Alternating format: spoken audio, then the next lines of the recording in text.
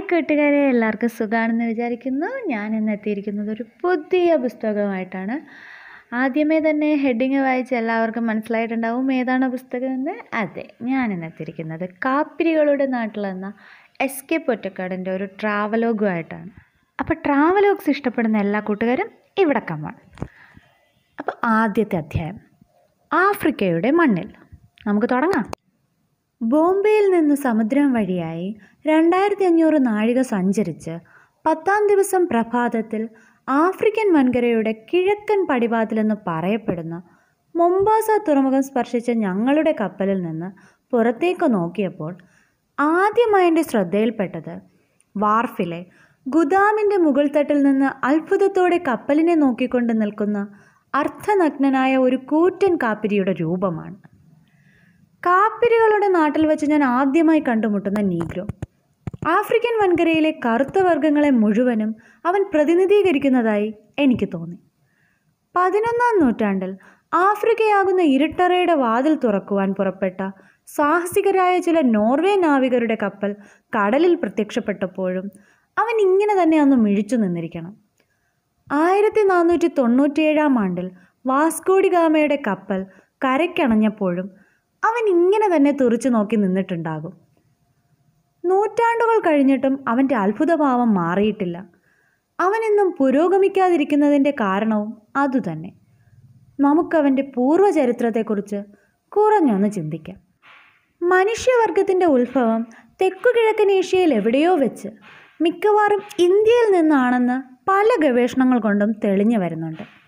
Australoid എന്ന് വിളിച്ചു വരുന്ന നരവംശത്തിൽ നിന്ന് നീഗ്രോ ഉപവർഗം ദക്ഷിണേഷ്യയിൽ ഉത്ഭവിച്ചതായും ആ നീഗ്രോ ഉപവർഗം ഇന്ത്യ മലയ ന്യൂഗിനിയ ശാന്തസമുദ്ര ദ്വീപുകൾ ഓസ്ട്രേലിയ ന്യൂസിലാൻഡ് മുതലായ രാജ്യങ്ങളിലേക്ക് സംക്രമിച്ചതായും പറയപ്പെടുന്നു.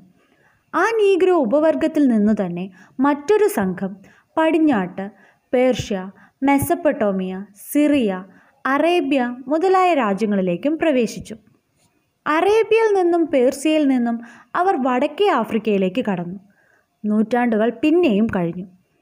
ഏഷ്യ മൈനറിൽ നിന്നുത്ഭവിച്ച കൊക്കേഷ്യൻ വർഗം കാടത്തത്തിൽ നിന്നുണർന്ന് ആയുധങ്ങൾ കണ്ടുപിടിച്ച് നാൽക്കാലികളെ ഇണക്കി ഒരുതരം പരിഷ്കാരത്തിൽ എത്തിച്ചേർന്നു തങ്ങളുടെ പുതിയ ആയുധങ്ങൾ കൊണ്ടവർ മധ്യധരണ്യാഴി പ്രദേശങ്ങളിൽ മുമ്പേ തന്നെ അധിവാസം ഉറപ്പിച്ച ഇന്ത്യയിൽ നിന്ന് വന്ന നീഗ്രോ വർഗത്തെ കീഴടക്കി. ചിലരെ തെക്കോട്ട് ആട്ടിയോടിച്ചു. കൊക്കേഷ്യൻ വർഗം ജയഭേരി മുഴക്കിക്കൊണ്ട് പിന്നെയും തെക്കോട്ട് വടക്കൻ ആഫ്രിക്കയിലേക്ക് കടന്നു. ഇന്ത്യയിൽ നിന്ന് വന്ന നീഗ്രോ വർഗത്തെ പിന്നെയും തെക്കോട്ട് മധ്യ ആഫ്രിക്കയിലേക്ക് അകറ്റി. ഏകദേശം ഇരുപത്തയ്യായിരം വർഷങ്ങൾക്കപ്പുറം നടന്ന ഒരു ആക്രമണ കഥയാണിത്. ആഫ്രിക്കയുടെ ചരിത്രം ആവർത്തിച്ചു കൊണ്ടിരിക്കുന്നുവെന്ന് പ്രസ്താവിക്കാൻ വേണ്ടി മാത്രമാണ് ഈ പഴയ കഥകൾ ഇവിടെ എടുത്തു പറയുന്നത്.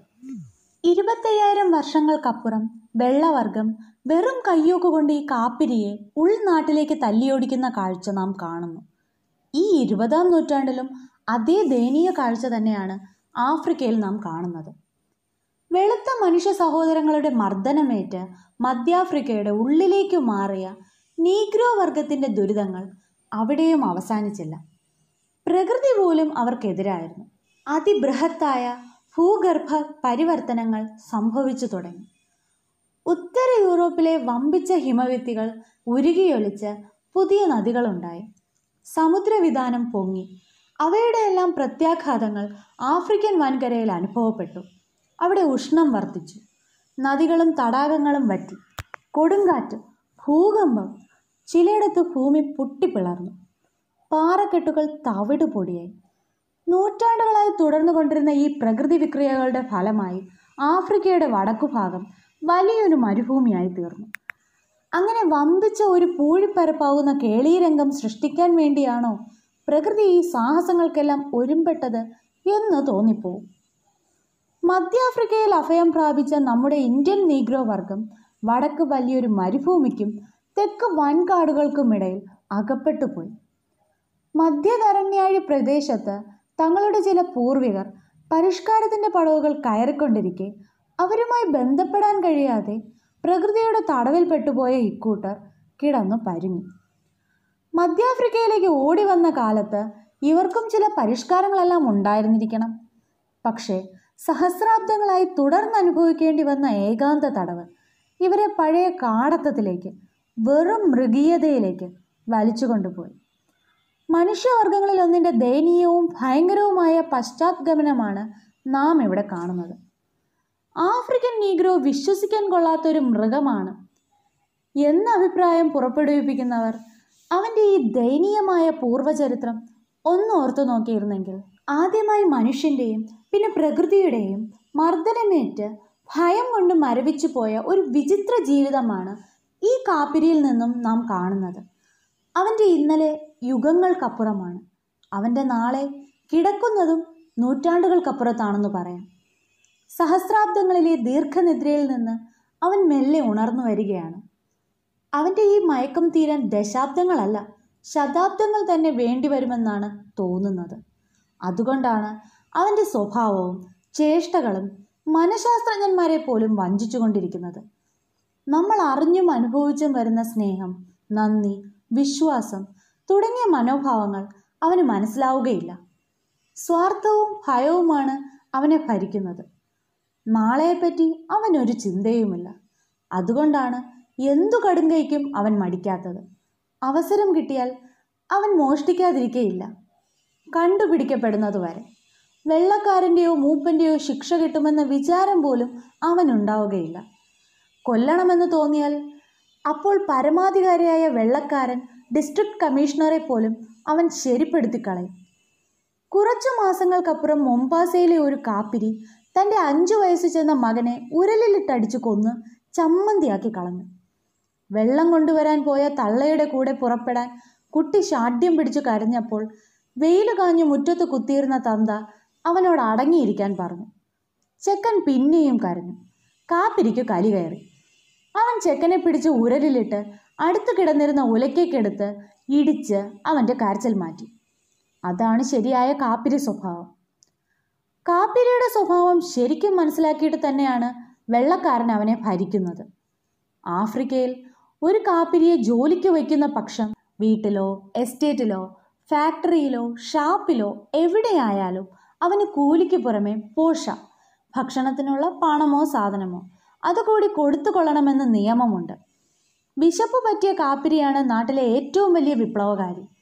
നാൽക്കാലികൾക്ക് കൊടുക്കും പോലെ മനുഷ്യനും ഈ തീറ്റ നൽകുന്ന ഏർപ്പാട് ആഫ്രിക്കയിലല്ലാതെ ലോകത്തിൽ മറ്റെവിടെയെങ്കിലും ഉണ്ടെന്ന് തോന്നുന്നില്ല. ഫാക്ടറികളിലും മറ്റും കളവുകുറ്റം ചെയ്ത കാപ്പിരിയെ നേരിട്ട് ശിക്ഷിക്കാൻ മുതലാളിക്ക് അധികാരമുണ്ട്. കുറ്റക്കാരനോട് വെള്ള മാനേജർ മൂന്ന് ചോദ്യം ചോദിക്കും. ജയിലിൽ പോകണോ പിഴ വിളിക്കണോ അടിശിക്ഷ വേണോ? കാപ്പിരി അടിശിക്ഷ മതിയെന്നായിരിക്കും പറയുക. ന്യാസാലൻഡിലെ ഒരു ഫാക്ടറിയിൽ വച്ച് കളവ് കുറ്റം ചെയ്ത മധ്യവയസ്കനായ ഒരു കാപ്പിരിയെ മാനേജർ മേശപ്പുറത്ത് കമിഴ്ത്തിക്കിടത്തി കാണ്ടാമൃഗത്തിന്റെ തോൽ കൊണ്ടുണ്ടാക്കിയ ചാട്ടവാർ കൊണ്ട് പതിനഞ്ചടി അടിക്കുന്നത് ഞാൻ കാണുകയുണ്ടായി. ആ കർമ്മം നിർവഹിച്ച വെള്ളക്കാരൻ ആഫ്രിക്കയെ മുഴുവനും കട്ടെടുത്ത് ഒരു വിദേശ വർഗത്തിലെ അംഗമാണെന്ന് നാം അങ്ങ് മറന്നേക്കണം. അതെ താൻ ജനിച്ച തന്റെ സ്വന്തം നാട്ടിൽ കാപ്പിരിക്ക് സ്ഥാനമില്ല. തന്റെ ജന്മദേശത്ത് താമസിക്കുന്നതിന് ഓരോ മുതിർന്ന കാപ്പിരിയും വെള്ളക്കാരന് കൊല്ലത്തിൽ പത്ത് ഷില്ലിംഗ് ആൾ നികുതി കൊടുക്കണം. റൊഡേഷ്യയിൽ ഈ നികുതി ഒരു പവനാണ്. തന്റെ സ്വന്തം നാട്ടിൽ തന്റെ താമസ സ്ഥലത്ത് രാത്രി എട്ട് മണിക്ക് ശേഷം അവൻ കുടിലിൽ നിന്ന് പുറത്തിറങ്ങി നടക്കുന്നത് കുറ്റകരമാണ്. ആഫ്രിക്കയിൽ നേറ്റീവ്സിനെ നാട്ടുകാരായ കാപ്പിരികളെ മാത്രം ബാധിക്കുന്ന ഒരു പോലീസ് നിയമമാണിത്. ഒരു വെള്ളക്കാരി പെണ്ണിനെ ബലാത്കാരം ചെയ്താൽ ഓരോ കാപ്പിരിക്ക് വിധിക്കുന്നത് വധശിക്ഷയാണ്. എന്നാൽ ആഫ്രിക്കയിൽ ഇന്ന് കാണപ്പെടുന്ന ലക്ഷക്കണക്കിലുള്ള കളയട് ജാതികളിൽ ഓരോ വ്യക്തിയുടെയും പിറകിൽ ഓരോ വെള്ളക്കാരന്റെ വ്യഭിചാരം മുഴച്ചു നിൽക്കുന്നതിനെ പറ്റി ആരും അത്ര ഗൗനിക്കാറില്ല. അപ്പോൾ ഈ ട്രാവലോഗിന്റെ ആദ്യത്തെ അധ്യായം ഇവിടെ അവസാനിക്കുകയാണ്. അടുത്ത അധ്യായവുമായിട്ട് വീണ്ടും വരുന്നതിന് മുമ്പ് ഈ ബുക്കിനെ പറ്റിയുള്ള നിങ്ങളുടെ അഭിപ്രായം എന്തായാലും പറയണം. എങ്കിലേ ഇനിയും ട്രാവലോഗ്സ് ചെയ്യണോ വേണ്ടയോ എന്ന് ആലോചിക്കാനാണ്. എന്തായാലും ഈ ബുക്ക് ഞാൻ കംപ്ലീറ്റ് ചെയ്യും. അപ്പോൾ വീണ്ടും കാണും വരേക്കും. എല്ലാവർക്കും ബ